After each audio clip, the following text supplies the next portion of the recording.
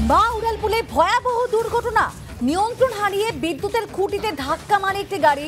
আর সেই দুর্ঘটনায় মৃত্যু হয়েছে গাড়ির চালকের। দেখুন যে গাড়ির অবস্থা থেকে বুঝতে পারছেন যে দুর্ঘটনার অভিঘাত কতটা মারাত্মক ছিল। মা উড়ালপুল, সেখানে মা উড়ালপুলে এই ভয়াবহ দুর্ঘটনা ঘটেছে এবং জখম অবস্থায় চারজন এখন হাসপাতালে ভর্তি রয়েছে। জানিয়ে রাখব যে এই দুর্ঘটনায় মৃত্যু হয়েছে গাড়ির চালকে মা উড়ালপুলে সেখানে এই দুর্ঘটনা ঘটেছে যেখানে মৃত্যু পর্যন্ত হয়েছে চালকের। নিয়ন্ত্রণ হারিয়ে বিদ্যুতের খুঁটিতে ধাক্কা মারে একটি গাড়ি এবং সেই গাড়িটি ধাক্কা মারার পরেই দেখা যাচ্ছে সেখানে চালকের মৃত্যু হয় আর জখম হয়েছেন চারজন, গুরুতর জখম হয়েছেন।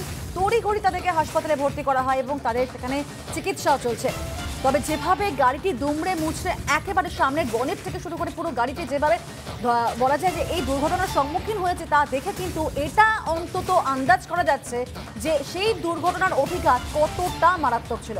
স্থানীয়রা এসে প্রথমে হাত লাগান, সেটা সেখান থেকে সরানোর জন্য, এবং যথেষ্ট বেগ পেতে হয়। তারপরে পুলিশ আধিকারিকরা প্রত্যেকে তারা সেখানে গিয়ে পৌঁছে যান। কিন্তু যে ঘটনা ঘটলো তা অত্যন্ত মর্মান্তিক। এই দুর্ঘটনায় মৃত্যু হয়েছে গাড়ির ড্রাইভার এলিনা রয়েছেন আমাদের সঙ্গে। এলিনা, এই ঘটনা ঘটলো কীভাবে? কি জানতে পারছ?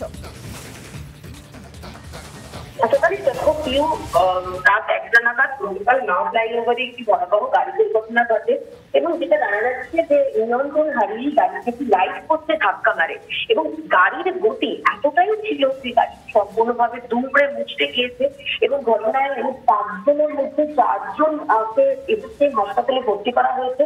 কিন্তু গাড়ির যে চালক এই চালকের কিন্তু মৃত্যু হয়েছে গাড়ি দুর্ঘটনায়। গাড়িটি এতটাই এতটাই গতিবেগে ছিল যে একেবারে কন্ট্রোল করা যায়নি, সোজা গিয়ে লাইট করতে ধাক্কা মারে এবং ড্রাইভারের সেখানে মৃত্যু হয়েছে, বাকি চারজনকে হাসপাতালে ভর্তি করা হয়েছে। কিন্তু যেটা হাসপাতাল সূত্রে খবর, যে চারজন অবস্থায় কিন্তু অত্যন্ত আশঙ্কাজনক। এর আগেও আমরা দেখেছি মায়া ফ্লাইওভারে বারবার বিভিন্নভাবে বাড়ি দুর্ঘটনা ঘটেছে এবং রাত্রিবেলা, রাত একটা নাগাদ এই দুর্ঘটনা গাড়ির চালক মদ্যপ অবস্থায় ছিলেন কিনা সেটাও কিন্তু এখনও পর্যন্ত জানা যায়নি। কিন্তু কীভাবে এই দুর্ঘটনা ঘটলো? শুধুমাত্র কি গাড়ির চালকের গতির জন্য অত্যন্ত বেশি গতিতে গিয়েছিল আছে? এখানে অন্য কোনো কারণ রয়েছে? সেটাও কিন্তু খতিয়ে দেখছে পুলিশ। তবে এই মুহূর্তে যেটা জানা যাচ্ছে অর্থাৎ গাড়িটির গতি অত্যন্ত বেশি ছিল এবং কোথাও কি তার জন্য এই দুর্ঘটনা ঘটেছে? অনেক ধন্যবাদ তোমাকে এলিনা।